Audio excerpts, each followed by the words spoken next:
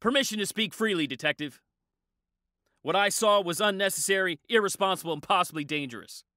We could have redeployed tomorrow with a better position on the alley. Why are they saying you blew up that lab? And why are they saying you killed a girl? Why? I don't have all day, old man. I'm going in. Sheep, sheep, sheep, sheep. Every day all I do is watch sheep. Sheep and sheep. I can't believe we came all the way up here for nothing. The sky is falling!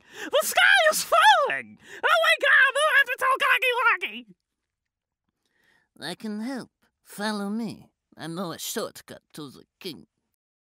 The stars are always in the sky, but we can only see their glow at night.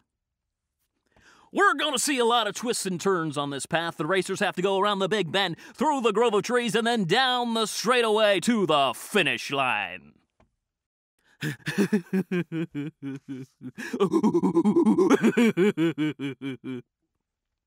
Hello, everybody. I am Star. So, what's your name? Let's check with Sam the Psychic and our guide to see who needs our help today. We have to call Sam. Will you help us call Sam? Very good.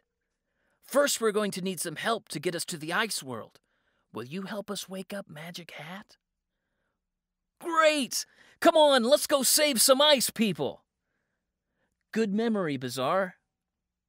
Come on, everyone. We need your help, too. How much time do we have to find the magical crystals and return them? But you were hurting these people. You can't hurt others and put them at risk just to make yourself feel better. Good thinking, Fern.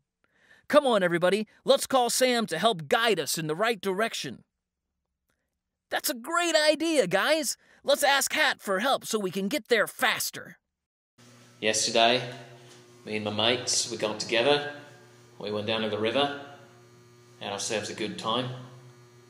And, uh, yeah. Again, my name is Ken Burgin. It's uh, 646 260 1663.